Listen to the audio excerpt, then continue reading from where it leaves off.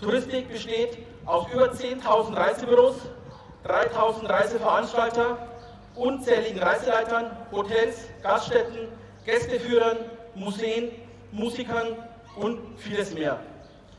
Insgesamt sichert die Touristik fast drei Millionen Arbeitsplätze in diesem Land. Deswegen sagen wir hier und heute und ganz laut und deutlich, lasst die Reisebranche nicht an Corona sterben.